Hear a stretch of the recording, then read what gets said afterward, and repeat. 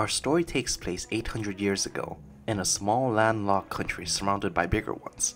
The world was at war, but the country continued to exist independently. No country attempted to even take over. In fact, the country flourished thanks to its one commodity, medicine. When the world is at war, people need soldiers. And if people need soldiers, they also need medicine and herbs. Every major power that surrounded the tiny country shared a truce not to invade the small country. But what made the country's medicine different from other countries? The medicines created there were enhanced thanks to the alchemists who lived there. These alchemists, however, thought of refining existing medicine as pastime. They had other motives in mind, but since the country was economically stable and safe, many alchemists traveled there to find employment. When the current king ascended to the throne, he gathered all the alchemists and gave them one command unleash your desires onto this world. Doing so will fulfill my very first step into my own ambitions. The king supported the alchemists in any way he could. The result was the creation of the core medal, the power of living beings condensed into a metal. The birth of these core medals increased the power of O's. With this new power, the ancient king began his own invasion of the surrounding countries. He utilized the core medals strategically in order to conquer new lands. He enslaved its citizens from there, and before long, his reign extended beyond just a small country, and in time, became the ruler of an entire continent. But he wanted more. He wanted to extend his reign throughout the rest of the world. To do so, he had the alchemist create something. There are 10 core medals, one for each type of species. Gala, the king's head alchemist, took one core medal from the complete set, leaving only 9 core medals. That missing core medal would leave behind a desire to become complete for the creatures they intended to create. The alchemists then filled these set of core medals with a vast amount of cell medals, giving life to what they would call greeds. The first greed to be born was Ankh. Prior to his awakening, he had a dream where he was a giant bird. He commanded and guided all the species of birds on the earth. He was narcissistic. He called himself beautiful. He enjoyed the scenery of the world and its colors, as there was no place in the world he couldn't reach. He felt that everything belonged to him. One day, he felt a tiny human on his back. He couldn't shake them off, and the human ended up ripping their hands into Ankh, taking a medal from him. When Ankh awoke from his dream, he realized he couldn't see any color or feel the temperature of the room. He looked at his body and felt disgusted by his grotesque body. He was no longer a bird. The king greeted him, Happy birthday. Ankh attacks him in anger, However, his attempt failed because he was too weak. The king explains that the reason why Ankh feels so drained of energy is because he lacks cell medals in his body. The king begins throwing cell medals at Ankh. This strengthens Ankh a bit and gives him the strength to continue attacking. As the king dodges, he throws Ankh more cell medals. This dance continues for a while until the king decides to transform into Oz. The king displays his strength against Ankh by simply beating him up, until eventually he digs his claws into Ankh, removing 6 core medals and only leaving 3. After showing off the power of Oz, the king summons his alchemists, and they all pour a huge amount of cell medals into four other sarcophaguses. Each one had nine sets of core medals, each belonging to four other kings. Uva, Mezul, Gamel, and Kazali were born. The king orders everyone to collect cell medals by creating yummies from people. He explained his plan of conquering other lands. Ankh thought this was suspicious. The king is powerful enough to invade other countries on his own, so why would he even need greeds, or need that many cell medals to do so? Time passes, and Ankh approaches the other Greeds, asking them for their help to kill the king. They all seem hesitant to join in on the plan, especially because Ankh was considered the king's loyal servants. Ankh was tasked with collecting everyone's cell medals, and he had to deliver them personally to the king. That aside, even if they wanted to kill the king, they wouldn't know how because he's so powerful. And plus, like Ankh, the king took some of their core medals. The conversation goes nowhere until Kazali speaks up and shows an interest in Ankh's plan. However, Ankh is suspicious of Kazali because he's the only one who easily gave up his core medals to the king. Ankh felt Kazali had something up his sleeve.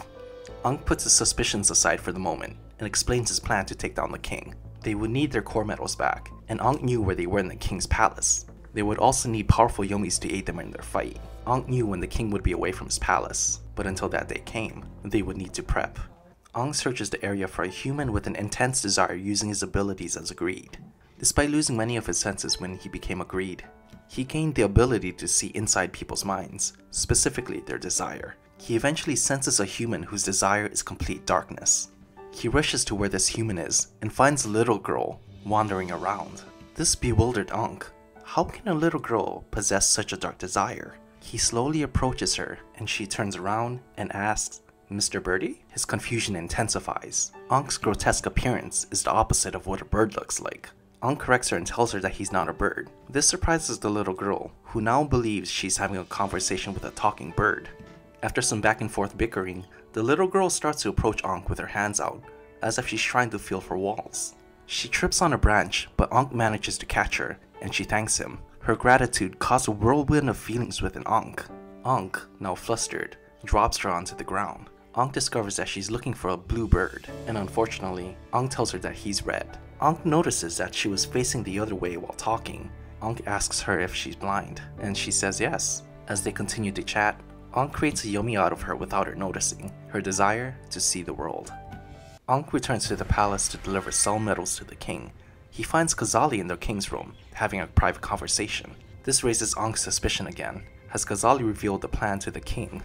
Kazali excuses himself from the room, leaving a nervous Ankh and the king by themselves. The king reveals that Kazali did inform him of their planned rebellion, and instead of being furious about it, this brings joy to him because this means Ankh is living true to his desires. Now the king asks Ankh to betray the Greeds. In exchange, Ankh will be rewarded with his missing core medal. Ankh was hesitant and angry at first, until the king compels him by ripping his hands into a nearby dog and eagle hybrid creature ripping its heart out and crushing it. Ankh, paralyzed by fear, agreed to the king's plan. After some time, Ankh leaves the palace and it begins to rain. He makes his way to the little girl's cabin to find comfort in her storytellings. You see, the Condor Yummy has been going around ripping people's eyes out, squeezing those eyes over the little girl's head, and the blood and fluid would actually give her the ability to see beautiful sights from the people they come from. Ankh has the girl tell him what she sees in detail. Through her stories, Ankh relives his dreams of being the king of birds. This time was different, however. The girl was too afraid to tell Ankh what she saw. After some back and forth, the girl sits up and tells Ankh what she's been afraid to tell him. She saw a little girl being beaten, and eventually, this man took her eyesight. Ankh immediately realized that the girl in these visions were of the little girl herself, and the man abusing her is her father. Disgusted by what he saw, Ankh made his way to the nearby estate owned by her father. It was heavily guarded and on high alert, probably due to the Condor Yummy coming by and harming the owner. Her mother was one of the housekeepers at the estate. She died shortly after the girl was born. The little girl did live there until her father kicked her out. The only reason she survived so far is because the servants brings her food. Ankh killed all the guards and made his way to the master's headquarters. The now eyeless man whimpered and begged Ankh to spare his life, offering money and whatever he wanted. His cries reminded Ankh of himself when he was at the mercy of the king. Disgusted at himself and the girl's father, he dealt a quick but deadly blow. Ankh made his way back to the girl's cabin and saw that it was on fire. It was surrounded by the townspeople, who were probably related to the Condor Yummy's victims. Ankh chose to watch from afar instead of helping. The Condor Yummy made its way down to try and save the little girl. The Condor Yummy killed everyone except for one. As the Condor Yummy approached the human, he turned into nothing but cell medals. The girl had died in the fire. Ankh felt nothing. On the day the king was away from the palace, it was time to enact the plan to kill the king. The greed stormed the palace killing every creature in experiment there, and collecting all the cell medals they drop. They eventually find the box that contained everyone's core medals. Everything was in there, except for the 10th medal that was taken from them at birth. Kazali attempted to betray everyone by taking it for himself. Ankh anticipated all this and informed the rest of the Greeds beforehand. Gamel and Mizul stopped Kazali, while Ankh gave everyone their core medals back. Everyone overpowered Kazali, but before they could finish him off, Kazali tries to convince everyone that Ankh was probably working for the king, Ankh admits that he was asked by the king to betray the Greeds, but he dispels everyone's fears by giving Kazali back to his core medals, telling him that he needs everyone, including Kazali, to kill the king. Now that everyone is whole again, except for their 10th core medal, which is in the king's possession, they make their way to an old church on the border of their country. The king chose to stay at a church, separate from the rest of his army. He was fascinated by the world's religions, and he was obsessed with becoming a god. When the Greeds enter the church, the king appears right in front of the cross awaiting their arrival. Per Ankh's plan, the Greeds needed to somehow stop him in place. They all attacked the king and waited for him to jump out of the way and land. Gamel struck the ground as he landed, which forced the king to stumble. Uva, Kazali, and Mizul rush to the king and create Yummies out of him.